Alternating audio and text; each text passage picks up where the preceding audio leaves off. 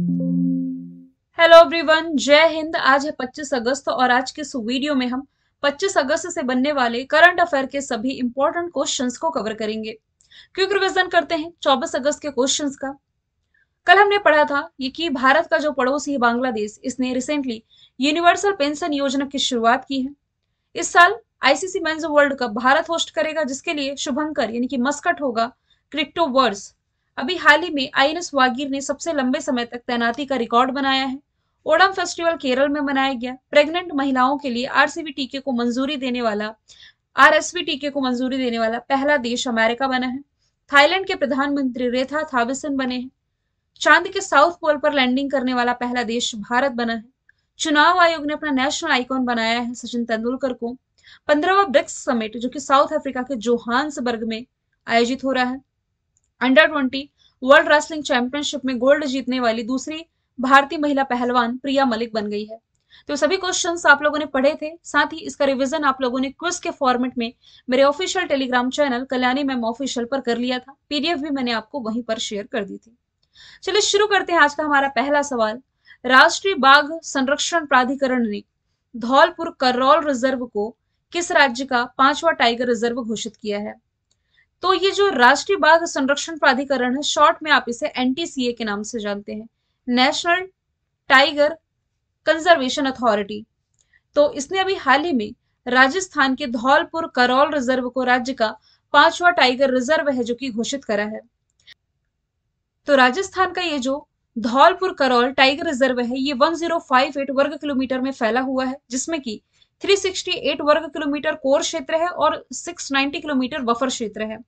Buffer क्षेत्र, core क्षेत्र क्या है? देखिए, एकदम सेंटर में होगा कोर क्षेत्र, इसके बाहर बफर क्षेत्र। तो कोर क्षेत्र में ना इंसानी गतिविधियाँ शामिल नहीं होती है। मतलब कि ह्यूमन एक्टिविटीज़ किसी तरह से नहीं हो सकती, बल्कि इसके बाहर का जो बफर क्षेत्र है, यहाँ ह्यूमन एक्टिविटीज़ हो सकती हैं। बस यही फ़र्क है दोनों में।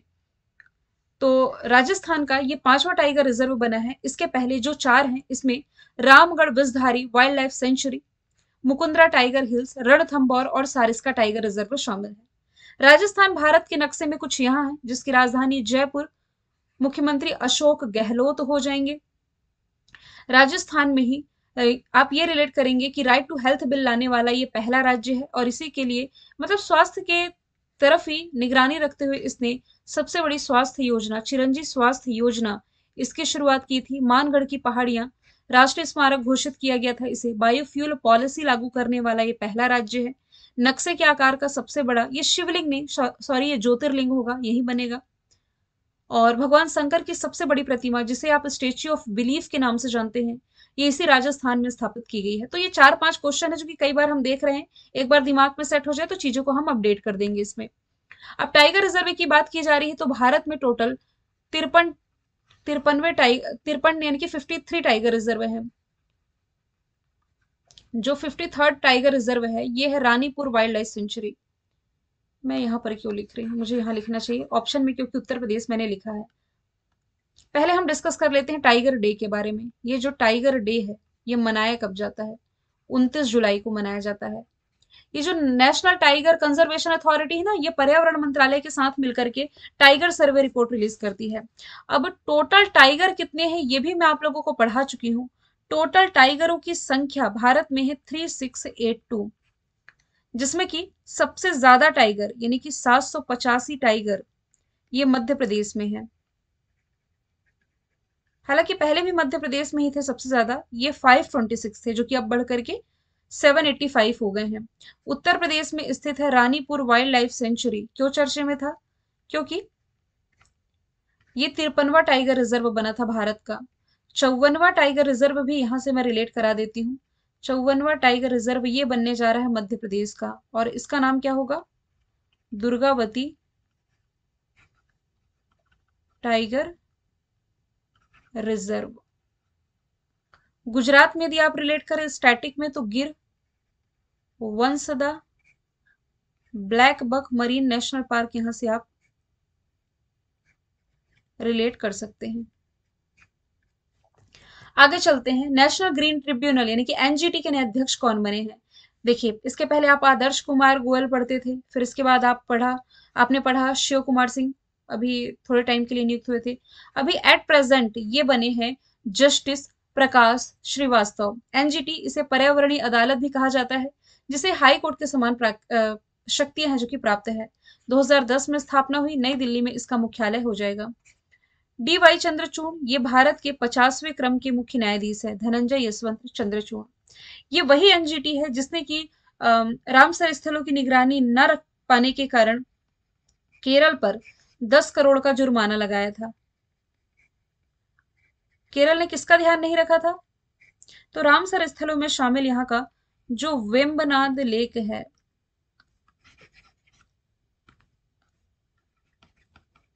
वेम्बनाद? और अष्टमुदी लेक इस पर मैनेजमेंट ये नहीं कर पाया था, जिसके बाद से इस पर 10 करोड़ का जुर्माना लगाया गया था। भारत का पहला स्वदेशी विकसित, यानी कि स्वदेश रूप से विकसित जो ई ट्रैक्टर है C S I R Prima E T one one किसने लॉन्च किया है? तो ये भी हाल ही में केंद्रीय मंत्री जितेंद्र सिंह के द्वारा लॉन्च किया गया है।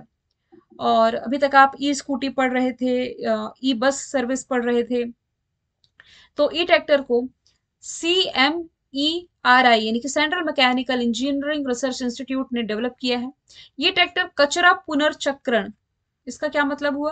गार्बेज की रिसाइकलिंग कर सकता है ड्रिप सिंचाई, आम और कमल जैसी जो जिनोम अनुक्रमिक खेती, कहने का मतलब है इसमें सिक्वेंशियल फ़ार्मिंग और इसी के समेत विशिष्ट प्रौद्योगिकीकरण, थोड़ा डिफ़िकल्ट हिंदी लिखी है स्पेसिफिक टेक्नोलॉजी पर यह ध्यान केंद्रित करेगा।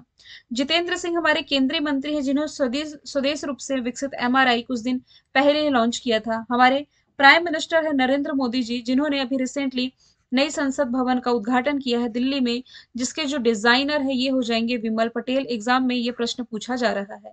नरेंद्र सिंह तोमर ये कृषि मंत्री हैं। इन्होंने कृषि के क्षेत्र का पहला चैट बॉट जिसका नाम है उमा कृषाई ये लॉन्च किया था। द्रौपदी मुर्मू, ये हमारी राष्ट्रपति हैं, जिन्हें साउथ अमेरिकी कंट्री सूरी नाम ने अपने सर्वोच्च सम्मान से सम्मानित किया है। आगे चलते हैं। विश्व जल सप्ताह दिवस अभी अगस्त के महीने में मनाया गया है 20 से 24 अगस्त तक। और ये आ, मनाया जाता है सीवी के द्वारा। सीवी यानी कि स्टॉकहोम इंटरनेशनल जल संस्थान के द्वारा इंटरनेशनल वाटर इंस्टीट्यूट के द्वारा जिसका मुख्यालय स्वीडन स्टॉकहोम में है और 1991 फॉर्मेशन या टॉर्गनी होल्म ग्रेन इसके निदेशक हैं। इतना डेप्थ में नहीं पूछा जाता एग्ज़ाम में।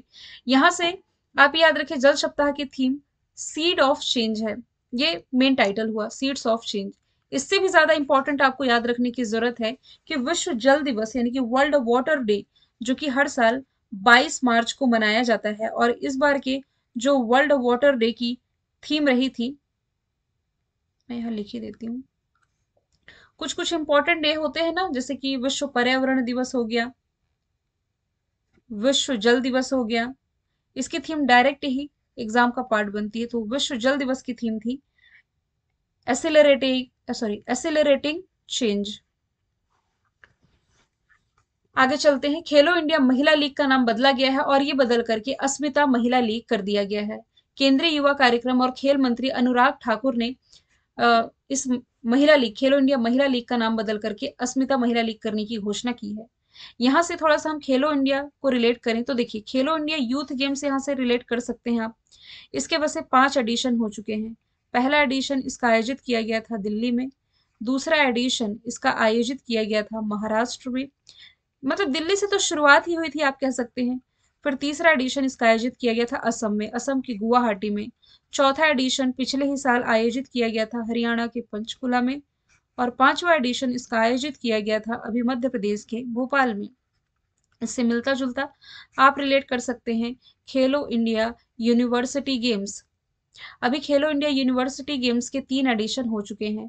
पहला एडिशन आयोजित किया गया था ओडिशा की राजधानी भुवनेश्वर में, दूसरा एडिशन इसका आयोजित किया गया था कर्नाटक की राजधानी बैंगलोर में और तीसरा एडिशन जो कि इस साल हुआ है, ये आयोजित किया गया है उत्तर प्रदेश की राजधानी लखनऊ में, जिसमें कि पंजाब यूनिवर्सिटी चंडीगढ़ ये टॉप पर रही है, जबकि मध्य प्रदेश में आयोजित जो खेलो इंडिया यूथ गेम्स था, इसमें महाराष्ट्र टॉप पर रही है। ठीक है? आगे चलते हैं। राष्ट्रपति द्रौपदी मुर्मू ने किस राज्य में मेरा बंगाल, व्यसन मुक्त बंगाल की शुरुआत की है? तो ये जो अभियान है रिसेंटली पश्चिम बंगाल से शुरू किया गया है। पश्चिम बंगाल के कोलकाता में ब्रह्म कुमारी संगठन के द्वारा इस अभियान की शुरुआत की गई है। इसका उद्देश्य है समाज में और देश में नशीली दवाओं के दुरुपयोग के बारे में मुद्दों को संबोधित करना है। पश्चिम बंगाल, जिसकी राजधानी कोलकाता है, कोलकाता, ये बसी हुई है हुगली नदी के किनारे। इसी हुगली नदी पर आप कह सकते हैं कि पहला अंडर वाटर मेट्रो इस साल के अंत तक लॉन्च हो जाएगा। मुख्यमंत्री ममता बनर्जी है। अभी एडीआर की रिपोर्ट थी जिसमें यह बताया गया था कि भारत में सबसे अधिक पैसा आंध्र प्रदेश के मुख्यमंत्री जगन मोहन रेड्डी के पास है। सबसे कम पैसा पश्चिम बंगाल की मुख्यमंत्री ममता बनर्जी के पास है, मात्र पंद्रह लाख रुपए। ऐसा बताया गया था। पश्चिम बंगाल के गवर्नर सीवी आनंद बोस हैं। यहाँ से इंपॉर्टेंट नेशनल पार्क यदि आप रिलेट करेंगे तो सिंगलीला नेशनल पार्क बक्सा, गौरुमारा,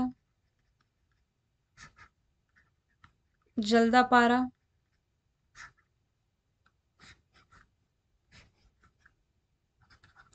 ये कुछ इंपॉर्टेंट नेशनल पार्क हैं। अच्छा जीआई टैग भी तो आप रिलेट कर सकते हैं। भारत में पहली बार जीआई टैग ये पश्चिम बंगाल की ही, को ही मिला था। मतलब पश्चिम बंगाल की दार्जिलिंग चाय को 2004 में, ठीक है? और भारत में दूसरा पनडुब्बी संग्रहालय, ये पश्चिम बंगाल में ही बनेगा। पहला कहाँ है? तो ये विशाखापट्टनम में हो जाएगा। ऑप्शंस के थ्रू यदि हम डिस्कस करें तो प्रेसिडेंट द्रौपदी मुर्मू ने दिल्ली से कैच द रेन अभियान की शुरुआत की थी। राजस्थान की राजधानी जयपुर में इन्होंने संविधान पार्क का उद्घाटन किया था और झारखंड में इन्होंने भारत का जो सबसे बड़ा हाई कोर्ट है, ये भी बता देती हूँ, एक सेकंड भारत का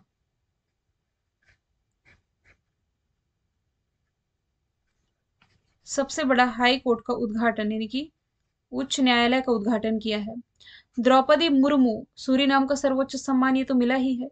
ये देश की दूसरी महिला राष्ट्रपति है, प्रतिभा पाटिल के बाद, और ओवरऑल देखें तो पंद्रहवें क्रम की है, और देश की पहली महिला आदिवासी राष्ट्रपति भी है। कौन सा राज्य है जो कि न्यू एजुकेशन पॉलिसी को समाप्त करके नई शिक्षा नीति लागू करेगा? मैं करंट अफेयर में हमेशा आपको बताती हूँ कि एनईपी लागू करने वाला पहला राज्य कर्नाटक है।